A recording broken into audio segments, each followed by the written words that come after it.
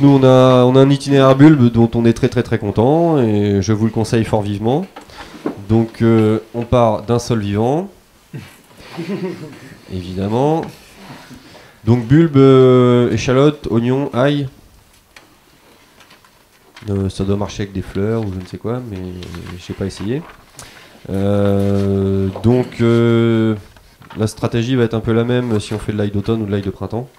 Ça ne va pas changer grand chose. C'est-à-dire qu'on donc on est sur un sol vivant avec des résidus divers et variés. hein. Ça peut être un couvert, ça peut être des résidus de paille, des résidus de culture, qu'importe. Donc on broie et on fait une occultation à la bâche d'ensilage. Euh, occultation.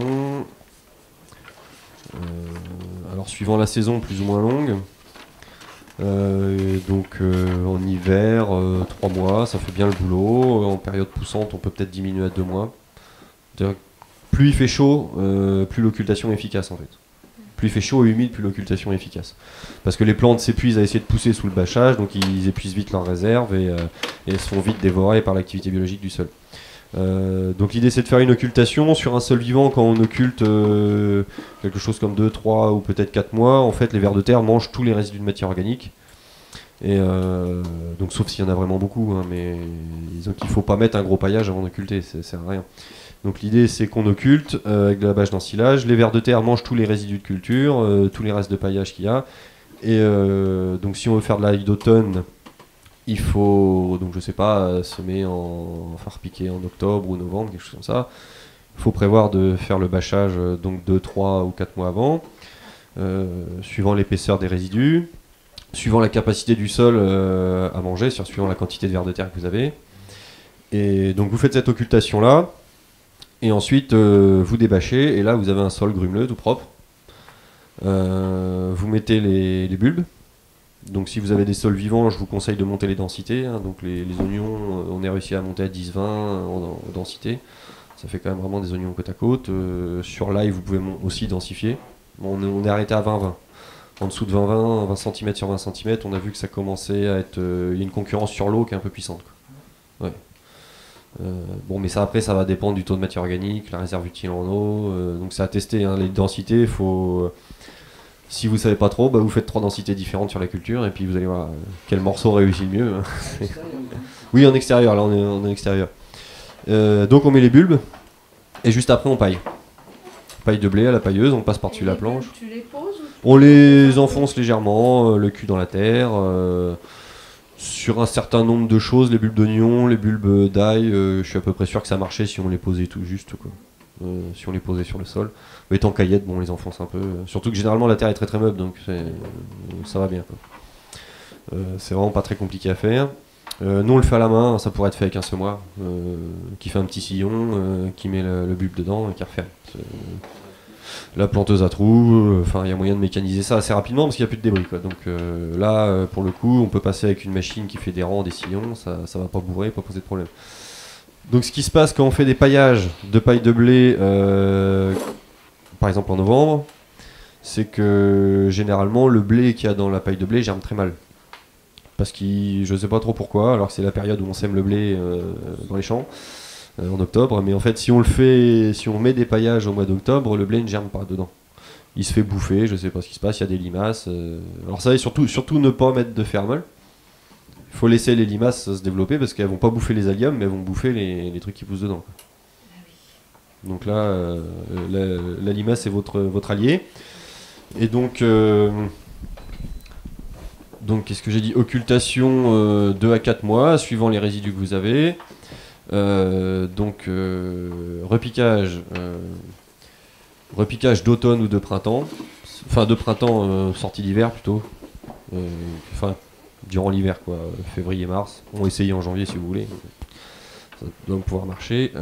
Donc, automne ou hiver. Alors pourquoi automne ou hiver? C'est vraiment parce qu'à ce moment-là, si vous paillez, le blé et les graines qu'il y a dedans ne germent pas. Et donc c'est propre, ça reste vraiment très propre. Enfin ça fait ça chez nous. euh. vous verrez chez vous euh, ce que ça donne. Par contre, les paillages, si on commence à les faire dès avril, en fait là par contre le blé germe super bien dedans. Et là vous vous retrouvez avec des champs de blé. Donc euh, c'est les paillages d'hiver, le blé ne germe pas, c'est intéressant. Et donc bah, on met des paillages, faut pas hésiter en fait. hein. Donc nous on fait la semence la plus grosse possible, en ail, en oignon. Plus la semence est grosse, plus vous avez des oignons gros et des ails et des aux, des os qui sont gros au final.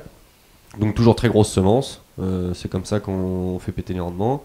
Et, euh, donc grosse semence, comme vous avez une grosse semence, elle a des réserves nutritives très importantes qui lui permettent de traverser des gros paillages. Donc gros paillage, hein, on tape quasiment sur 10 cm de paille de blé. Et euh, ça traverse, ça pousse. Donc là vous avez un itinéraire euh, sans irrigation, sans désherbage, euh, très gros rendement, pas de travail du sol. Voilà. Et donc là on a fait en oignon 66 tonnes hectares, hein, donc euh, une planche d'un mètre cinquante, c'est euh, bah, c'est simple, ça faisait un mètre de planche, 10 kg d'oignon. quoi. Donc euh, ça- des caisses de 20 kg tous les 2 mètres, ça fait, des- ça fait beaucoup. Et en plus avec des taux de sucre euh, très très intéressants, enfin un produit de qualité qui s'est très bien conservé, on n'est pas sur des, sur des trucs dégueux. Quoi. Euh, donc voilà, échalote, euh, échalote, ça marche aussi.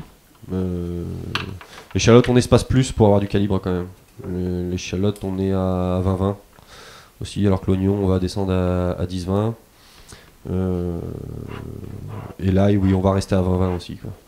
Donc euh, j'ai l'impression que le facteur limitant, c'est l'eau sur ces cultures-là. Euh, parce qu'on est quand même à des fortes densités, donc forte végétation, et très vite, l'eau, c'est le facteur limitant. Donc on, envisage de peut-être en venir mettre une pichenette d'eau. Enfin en fait oui, c'est ça, c'est cette année on avait installé de l'irrigation, des rampes de goutte à goutte. Sauf que comme il a plu toute l'année, bah, on a arrosé une fois et puis on n'a pas pu comparer euh, en termes de gain de rendement. Quoi. Parce qu'on voulait faire une planche irriguée, une planche pas irriguée. Mais en fait comme il a plu tout le temps, on n'a pas eu de problème d'irrigation, donc des très gros rendements. Parce que là on n'a pas été limité par l'eau. Euh, voilà, ça ça marche très bien.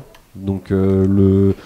Seul coup tordu que ça peut vous faire, c'est si vous avez malgré tout des trucs qui germent dans la paille. Parce que je sais pas pourquoi, mais nous on n'a rien qui germe, mais bon, faut peut-être se méfier, si dans votre paille il y a des graines de je ne sais quoi. Voilà. Mais ça c'est un truc intéressant, un paillage l'hiver, il n'y a pas grand chose qui germe dedans. Donc ça, ça peut être une bonne technique sur certains itinéraires de pailler l'hiver plutôt que de pailler à d'autres saisons.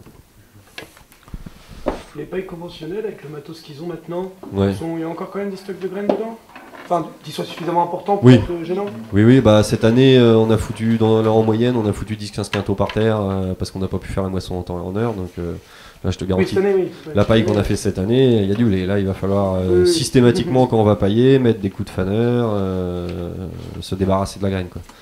Il va falloir introduire ça dans l'itinéraire, sinon on est cuit. Quoi. Mais Voilà. paille. Dépaillage de- d'hiver, je suis assez rassuré. euh, Jusqu'à présent, on a zéro problème. Quoi. Donc, donc là, en termes de rentabilité, c'est un itinéraire qui, qui est pas mal. je vous garantis que. Ouais, ça crache de la thune, ouais, c'est pas mal. Euh, Qu'est-ce que non, il y a vraiment pas grand-chose d'autre à rajouter. Hein. euh, Cet itinéraire, il est vraiment extrêmement simple. On pourrait essayer avec du BRF. Ouais, mais alors nous cette année on a essayé Ouais. le BRF, euh, 10 cm de BRF, là c'est du vrai BRF. Euh, et alors on a, c'est- il y a eu une planche faite avec du BRF et une autre avec du compost de déchets verts. Mhm. Avec le compost de déchets verts c'est plus vert et légèrement plus gros. D'accord. Le BRF, Mais euh, voilà. un peu de fin d'azote, euh, mais ton sol n'est pas forcément un sol super bien mis en vie. euh, Oui, oui. Mais ça a marché quand même. Mais ça marche quand même. T'as gagné des sous. Euh, bah, c'est de- de- de- Ah, c'est en train, c'est en train de se faire. Voilà. T'as pas de gros morphie avec le gros match dans ton, dans ta situation là Non. maintenant,